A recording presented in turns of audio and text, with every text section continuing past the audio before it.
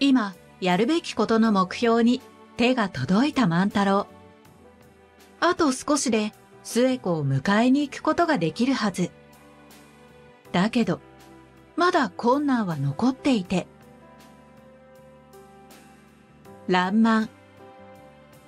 第11週、夕顔のお話が始まりました。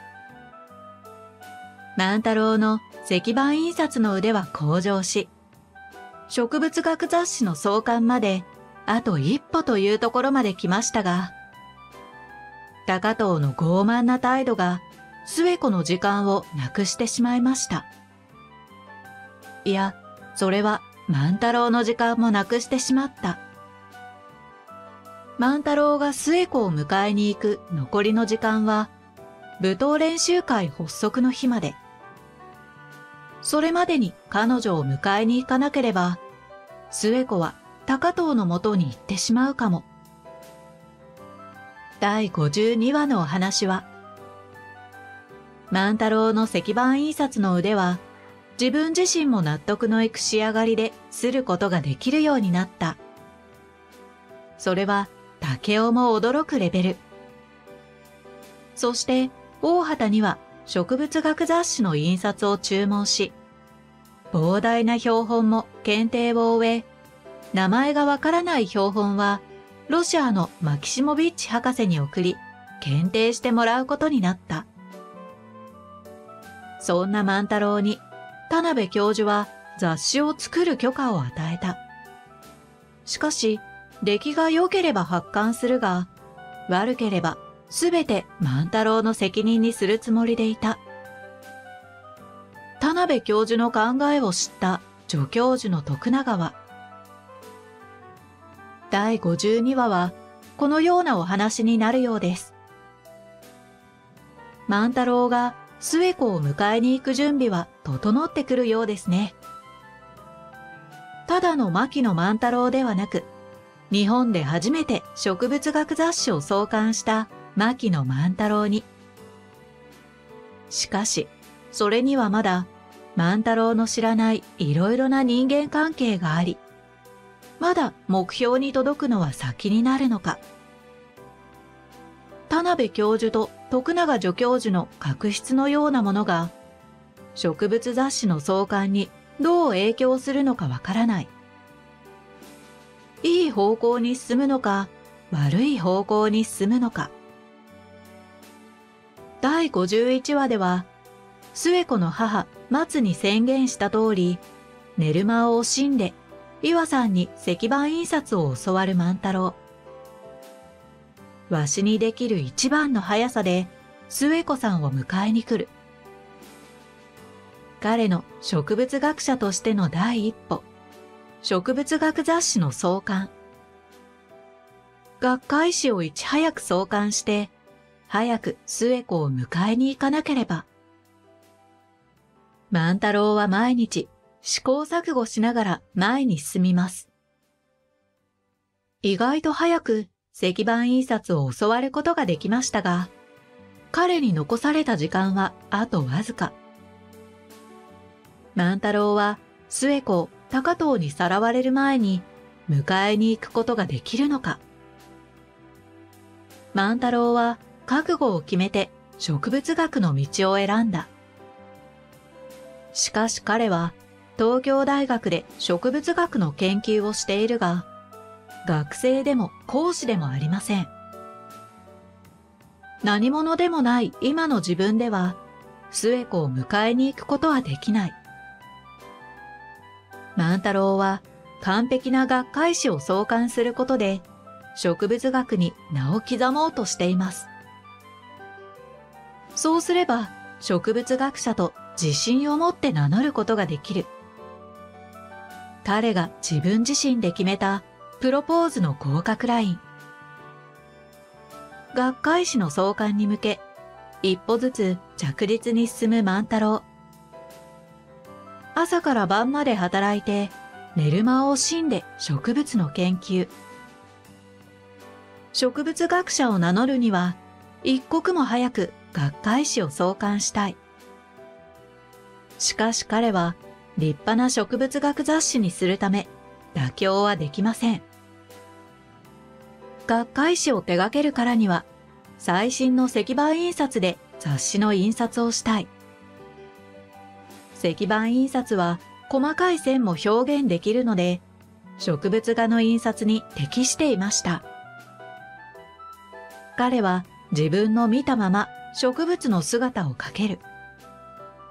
彼の植物画を見れば誰もがその植物とわかります。彼は日本の植物学会だけでなく、世界で認められる雑誌を目指している。たとえ時間がかかっても、彼が石版印刷にこだわるのは高い理想があるからです。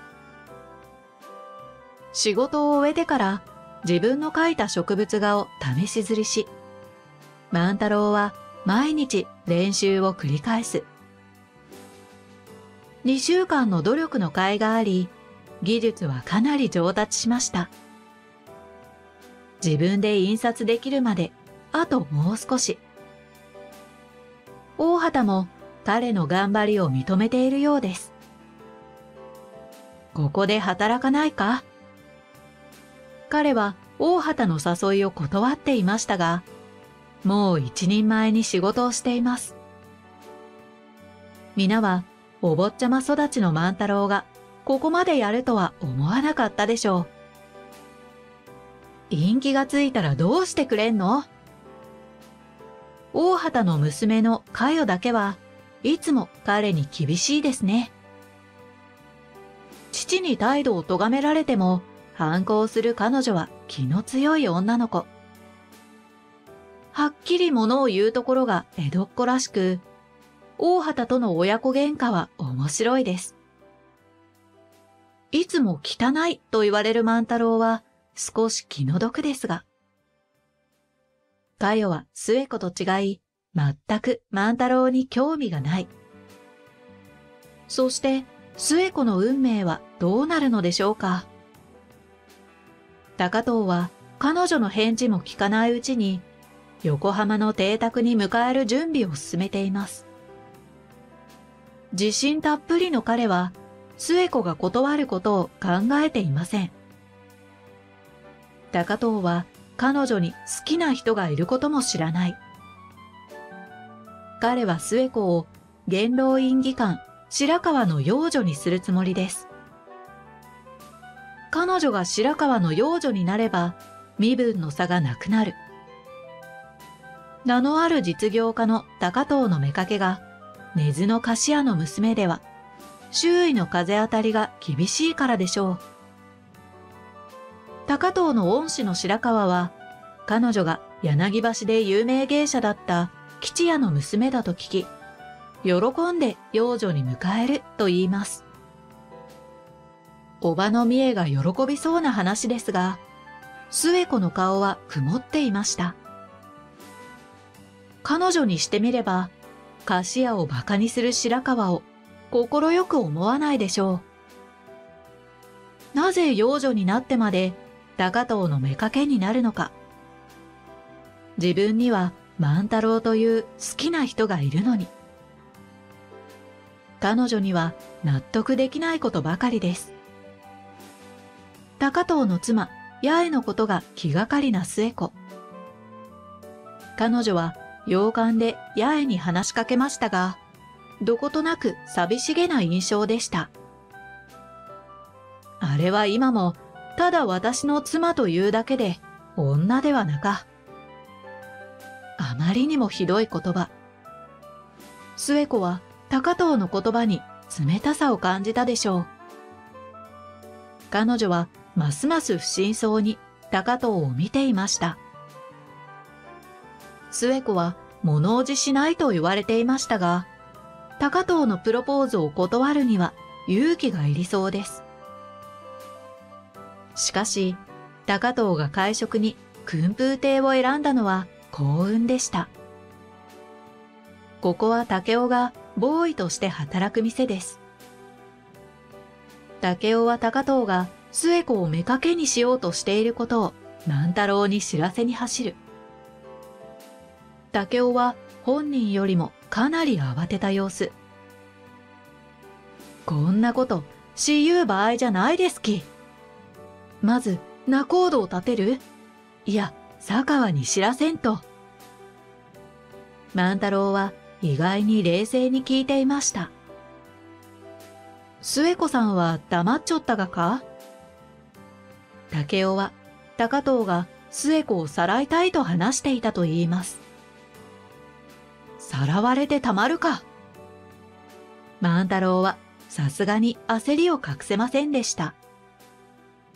しかし彼は自分が納得するまでは彼女を迎えに行かないつもりでいました。植物学者として自信を持てるまで完璧な植物学雑誌が創刊できるまであと少し。そこまで彼は何としてでも頑張るつもりです。末子に恥ずかしくないような自分になるため。万太郎は末子をとても大切に思っているのでしょう。しかし、時間は待ってはくれません。高藤が彼女をさらってしまったら、彼は後悔するに決まっています。万太郎は末子のプロポーズに間に合うのでしょうか？最後までご視聴いただきありがとうございました。